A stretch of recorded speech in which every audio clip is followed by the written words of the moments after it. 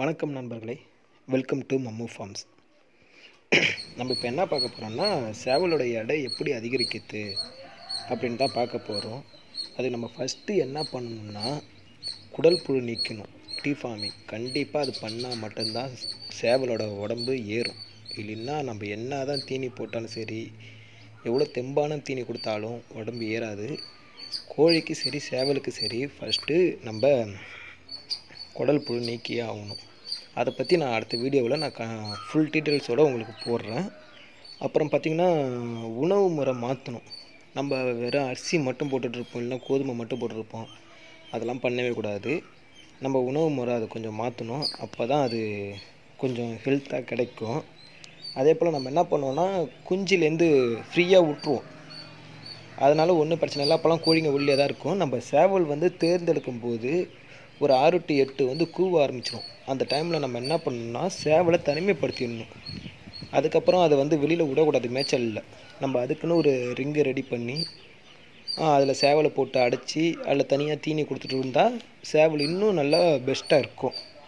அதே போல் அதை வந்து ப்ரீடிங் யூஸ் பண்ணவே கூடாது. தயவு பண்ணி அதை மறந்துடுங்க ப்ரீடிங் மட்டும் யூஸ் பண்ணவே கூடாது.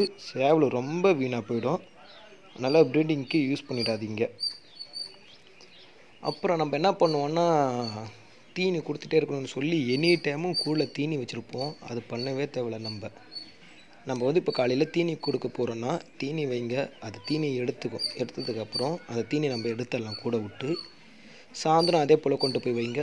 தின்னும். ஏன்னா எனி டைமாக அதில் தீனி இருந்துச்சுன்னா காலையில் தின்னுடுச்சுன்னா சாயந்தரம் அதை வந்து கூடுல அந்த டப்பாவில் தீனி இருந்துகிட்டே இருந்தாலும் அது தின்னாது. அது சாயந்தரமும் தின்னாது. நம்ம வைக்கிற நேரத்தில் தான் புதுசாக தீனி வைக்கிறாங்கன்னு சொல்லிட்டு தின்னும். அதனால் தீனி வச்சுட்டு தீனியை சாப்பிட்ட உடனே நம்ம தீனி டப்பா வெளில எடுத்துடலாம். எனி டைமும் தண்ணி இருக்கணும். அதை பார்த்துங்க ஏன்னா கோழிங்களுக்கு கோழியும் சரி சேவலும் சரி எனி டைமும் தண்ணி இருந்தால் ரொம்ப ரொம்ப ரொம்ப நல்லது. இல்லை இன்னும் பெஸ்ட்டாக நம்ம தீனி கொடுக்கணுன்னு பார்த்திங்கன்னா பாதாம் பிஸ்தா முந்திரி திராட்சை பனை வெல்லம் இதெல்லாம் நம்ம என்ன பண்ணலான்னா நல்லா அரைச்சி மிக்சியில் போட்டு அரைக்க தேவையில்ல. கல் இருக்கும்ல அதில் அரைச்சி காலையில் ஒரு அஞ்சு உருண்டை சாயந்தரம் ஒரு அஞ்சு உருண்டை. இது போல் நம்ம கொடுத்துட்டு வந்தால் கோழிக்கு வந்து உடம்பு நல்லா கட்டுக்காப்பாக வரும். நல்லா ஹெல்த்தியாகவும் இருக்கும்.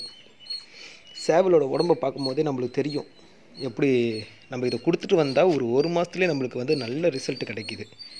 அதனால் நம்ம இதை எப்பொழுதும் பண்ணலாம். பாதாமி பிஸ்தா முந்திரி திராட்சை பனவெல்லம் இது எல்லாத்தையும் நல்லா அரைச்சி காலையில் ஒரு அஞ்சு உருண்டை கொடுக்குறோமா? அதே போல் சாயந்தரம் ஒரு அஞ்சு உருண்டை கொடுக்கலாம். அதை நம்ம மறக்காமல் பண்ணலாம். அதை விட்டு மற்றது என்ன பண்ணலாம் அப்படின்னு பார்த்தீங்கன்னா இந்த கம்பு கேழ்வழகு கேழ்வழகு மக்காசோளம் இதோட கருவோட கொஞ்சமாக போட்டு நல்லா அரைச்சிக்கலாம். அரைச்சிட்டு அது நம்ம சோறு வடிக்கிற தண்ணி இருக்குல்ல அந்த தண்ணியில் கொஞ்சம் மிக்ஸ் பண்ணி நம்ம கோழிகளுக்கு வச்சா சாப்பிடும். சாப்பிட்டுச்சுன்னா கண்டிப்பாக உடம்பு நல்லாயிருக்கும் இது நம்ம பண்ணால் ஒரு ஒரு மாதம் ரெண்டு மாதத்தில் நல்ல ரிசல்ட் கிடைக்கும் நம்மளுக்கு. அதே போல் கொஞ்சம் கோதுமை சேர்த்துக்கலாம். கோதுமை சேர்த்தா உடம்பு கொஞ்சம் அகலமாக வரும் கோழிங்களுக்கு கோதுமையும் சேர்த்துக்குங்க. நம்ம என்ன பண்ணுவோன்னா ப்ரீடிங்க்கெலாம் அதிகமாக யூஸ் பண்ணவே கூடாது பட்டா சேவலை பொறுத்தவரை. நம்ம சண்டைக்குன்னு ரெடி பண்ணி வச்சுருக்கோன்னா நம்ம சண்டைக்கு போயிட்டு வந்து ஏதாவது அதுக்கு ஃபால்ட்டானா மட்டும்தான் கோழியை சாரி சேவலை ப்ரீடிங் யூஸ் பண்ணோம். மற்றபடி அதெல்லாம் யூஸ் பண்ணவே தேவையில்லை.